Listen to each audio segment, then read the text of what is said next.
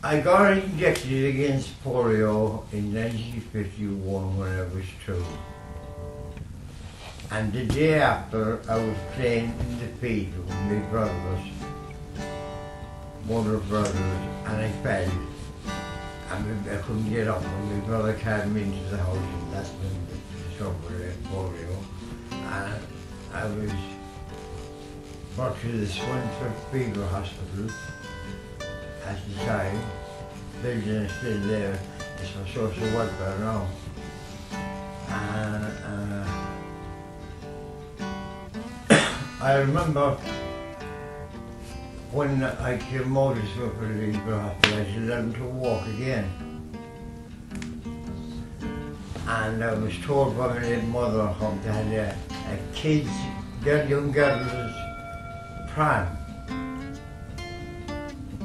And the, the, district nurse, which is the SSN nurse, Carrie, put stones into the pram so I couldn't tip over when I was walking with her. I was walking up and down the footpath of the house with, with, the pram down to walk. I was never told by my parents that I got polio from the injection, but I was told, I was told about 1987, I was told by an old man that died in 89. And there's a man back the road, Sean Gaffney, painter, told me he remembered when I got the polio or how I got it. He was 10 years of age. So I tried through a solicitor to make a claim against the government and against the American government and against the doctor for getting that polio from that injection. But he told me there was no health board at the time and there was no records kept.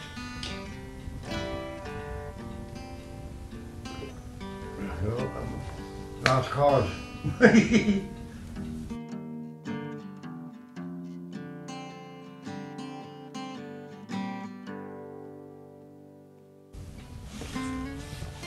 My first operation in Galway in 1956 on my ankle. Whatever was far, I don't know at the time. And I was required in Merlin Park. And when I was going home, I was put into an ambulance and I had wooden crutches. I saw there was at the time. And I was brought to Castlebar at 12 o'clock at night. And he had the driver say to his poor there, we're not bringing this child to Pakistan, we put him in here. Well, they put me into the workhouse. So I had to walk in with big double arch doors, spring doors on the workhouse. I remember it well. I'm walking on the crutches and casting my leg my foot up. There was no stairs to walk and heel that way. I walk up the passageway to the very top of the, the big massive room. And all mattresses on the floor, and patients lying and sleeping and roaring and everything. Up to the very top and put in a mattress on the floor. When I slept all night, I woke the next morning and I got a boiled egg. And the slices of bread I got were so big I couldn't get my mouth, a small mouth around but then, coming in nine o'clock, and the shop came round for the patients. And no man walked up beside to me and handed me a bar of chocolate that was there. No man was there. That was nice. And then the ambulance came and brought me home.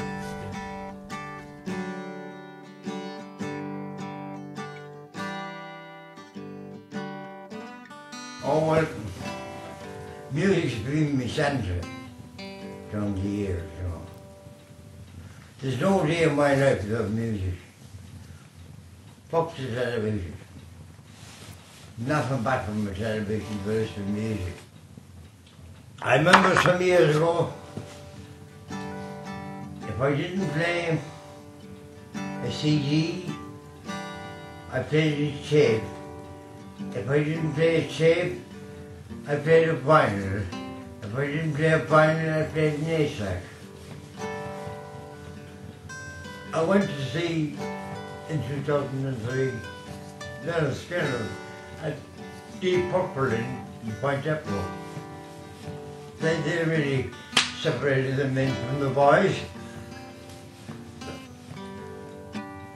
Music is good for anyone.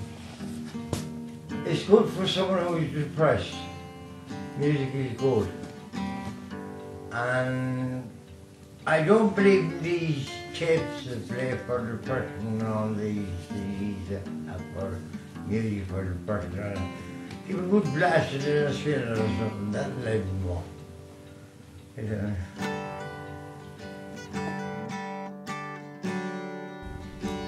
I got called egg leg. I called many things when I was called every time. But mostly what people call me, she just started DJing with Billy the Kid. They'll say the kid is coming.